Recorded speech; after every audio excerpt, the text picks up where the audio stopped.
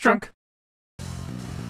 A game as popular as Tony Hawk Pro Skater 2 is guaranteed to get a million ports. It was initially released for PlayStation in 2000 and later received ports on Dreamcast, Nintendo 64, Xbox, Windows, Mac, Game Boy Color, and eventually the Game Boy Advance in 2001.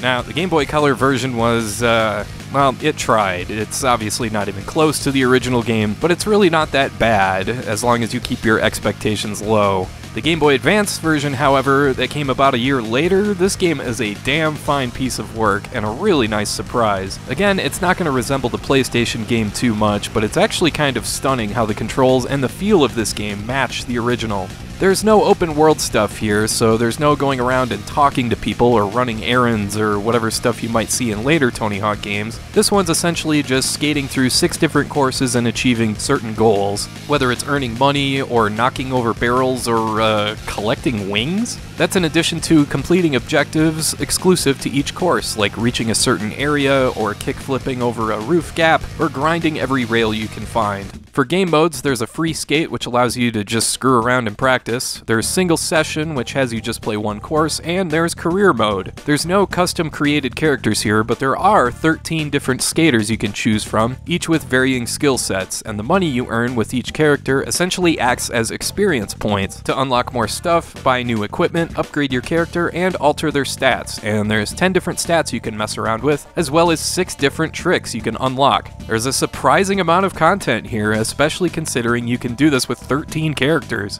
The thing that makes this game among the absolute best on the Game Boy Advance, however, is the controls. They are almost perfect, and that's quite a feat considering there's fewer buttons to work with here. Your skater moves forward automatically, and it's B to crouch and eventually jump, and holding B allows you to pick up more speed, and releasing B does an ollie. The A button grinds, and you see the usual balance meter there that you use to control with the D-pad. The L button does a flip trick, the R button does a grab but the thing is, all these functions combine seamlessly to stack together tons upon tons of tricks. It is extremely player friendly, it's really easy to get used to, and believe it or not, it has the same feel as a Tony Hawk game despite looking so different. The first time I played this, I just went to free skate and I got the controls down almost immediately, and I ended up messing around for like 30 minutes just doing whatever. It is super fun. There's even a special meter you can build up, which enables you to do your skater's signature moves, with each having at least three, and they're laid out no differently than moves in a fighting game. Like to do Tony Hawk's signature 900, just press right, down, and R.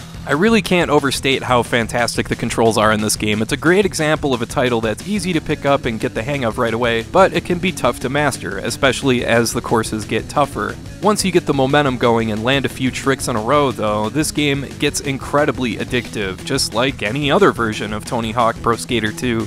Now, I should point out the music. The soundtrack was a huge deal in the original and added a ton to the experience to the point that it's a huge help in making it one of the best games ever made. The music on the Game Boy Advance, in general, on the other hand, has a notoriously bad rap thanks to the low quality sound chip, but the music here in this game is still pretty dang good. There's no licensed songs here, there's nothing you'd recognize, but it's light years better than a lot of other Game Boy Advance soundtracks. It's pretty evident that while they couldn't shell out for any real songs here, they'd probably sound like crap anyway, but the composer understood that the music in a Tony Hawk game is a big deal and should be treated as such.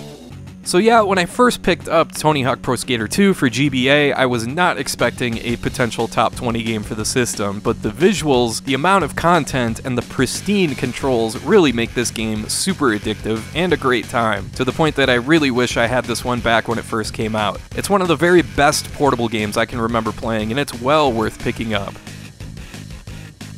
Alright, I want to thank you for watching, and I hope you have a great rest of your day.